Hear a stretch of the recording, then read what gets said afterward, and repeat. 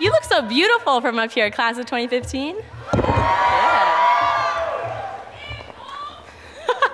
okay, to business though.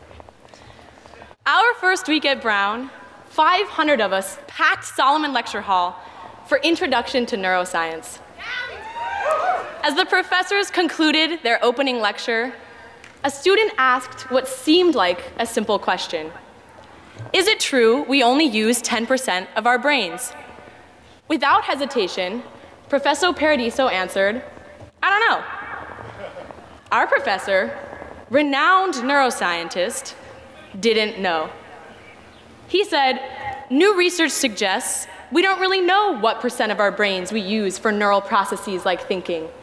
The field doesn't know yet, so I don't know. The room went quiet. Students sat up straighter, ears perked up. The only sound was of the mental gears in 500 Brown student minds churning. I heard whispers of, how could you measure that on a cellular level? Could you stain brain tissue or create a computer program? Our collective curiosity galvanized us. Unimpressed by knowledge alone, by facts already discovered, we were ignited by what we didn't know. For the next four years, seeking out these I don't know moments became our daily challenge, our intellectual regimen. Brown made our attraction to the unknown the undiscovered, the unresolved, magnetic. Even before we arrived on campus, Brown dared us in our admissions essays to answer the question, what don't you know? And our open curriculum is the university trusting in us, saying, we don't know every course you'll need to make your impact on the world.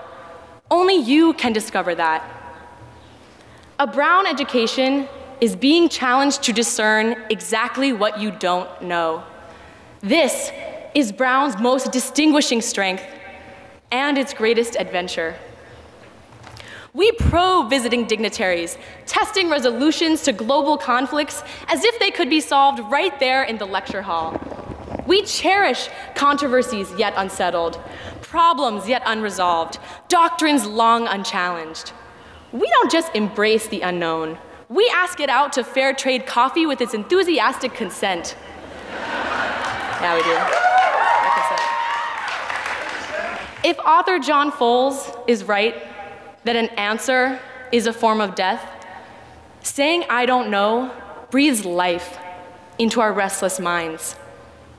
When we asked whose stories are missing from the history of the civil rights movement, our I Don't Know sent members of our class and faculty to Tougaloo, Mississippi, searching for silenced voices.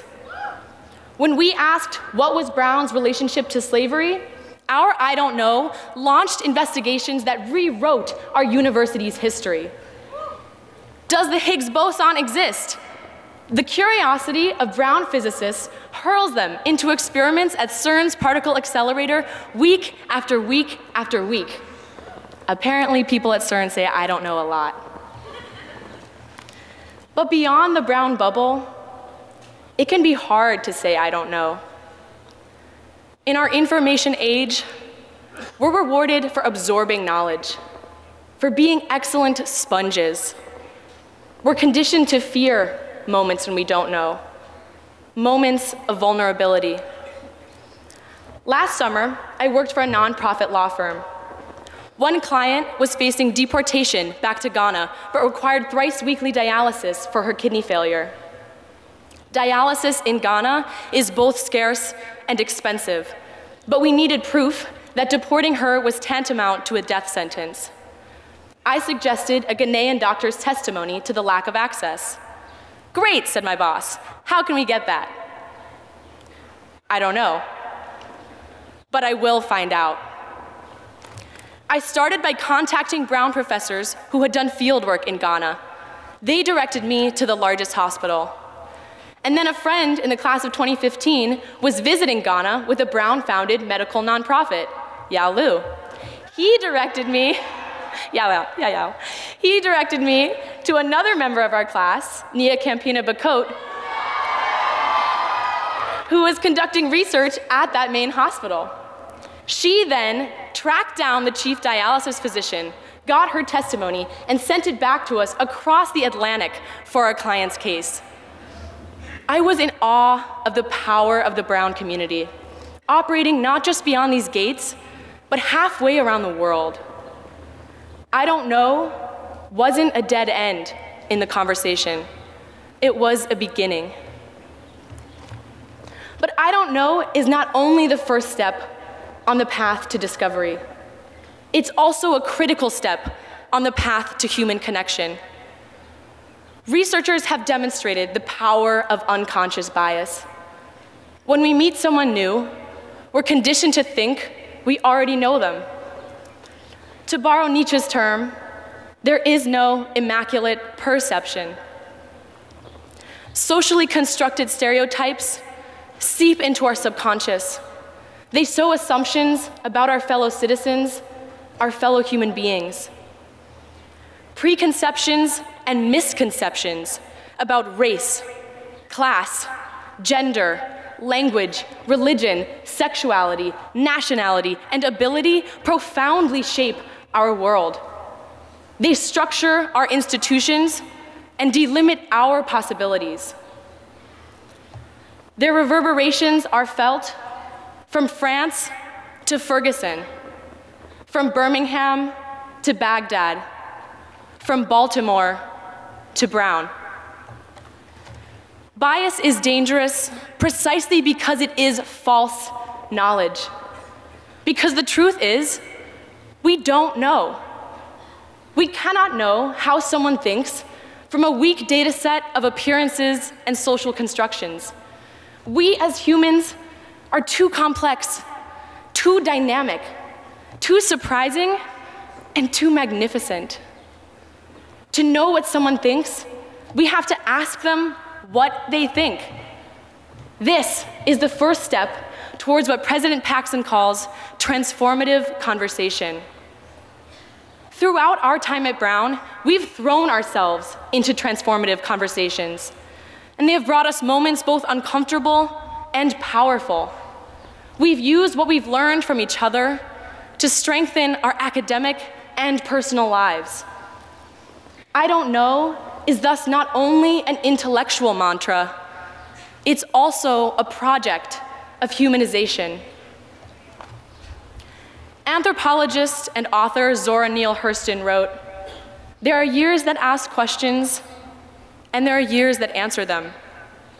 Even though she went to Columbia, she's right.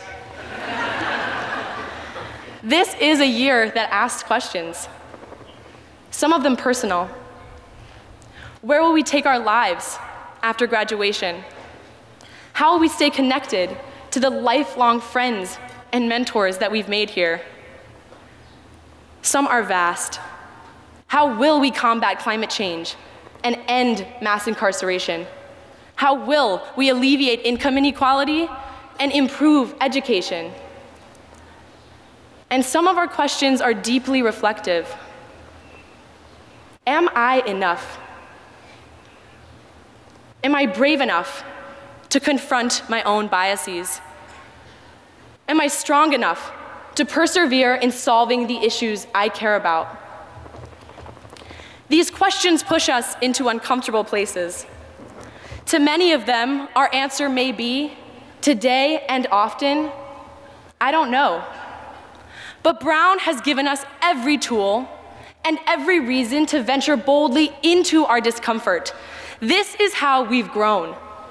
Every day, we've challenged each other to take no observation, no dominant narrative, no established truth at face value. Every day, we've challenged each other to hold self evident only that nothing is self evident. Brown has shown us that the very engine of discovery and insight, of progress and justice, of our future and the world's is our fearless, relentless questioning. This is our greatest power. Brown has taught us that in this community, within these gates and far beyond, I don't know merely means I don't know yet.